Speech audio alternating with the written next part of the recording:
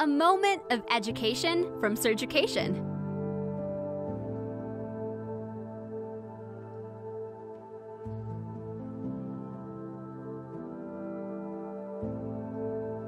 An anesthesiologist is a type of doctor that works with the surgeon to take care of your child during surgery.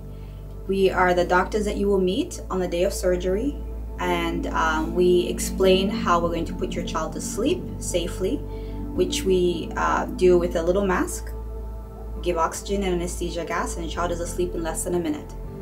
And after surgery, after anesthesia is started, we put in a breathing tube and an IV. These things keep the patient safe your child. We also monitor heart rate, blood pressure, and oxygen levels. And also we control pain in multiple ways. We give medication that is appropriately dosed for your child's weight. And also we give other medications that control pain using regional anesthesia.